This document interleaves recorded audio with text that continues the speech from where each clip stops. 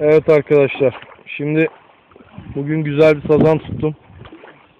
Hayırlı arkadaşım benim için tartacak ve balığı size gösterecek.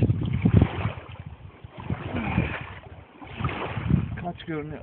Cihazımız çok kötü çekim yaptığımız ama idare edeceğiz artık. Kaç görünüyor uzaktan tutun. Tam gösterdiğini sanmıyorum ama 7 kilo 825 diyor.